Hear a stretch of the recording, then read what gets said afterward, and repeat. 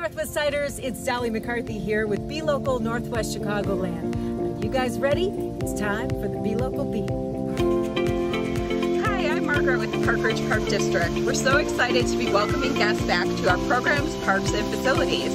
A number of our facilities are reopened for this summer, including the Oakton Driving Range, batting cages, Centennial Fitness Center, and indoor pool, Hinkley Outdoor Pool, and the Prospect Park Splash Pad. We're also offering a wide variety of online and in-person programs for all ages, including camps, group fitness classes, ice skating, dance, athletic, and nature programs. Our parks continue to be available for biking, running, walking, tennis, pickleball, and basketball. And now the playgrounds and picnic shelters are also open. Please check out prparks.org for more information. We're looking forward to seeing you soon.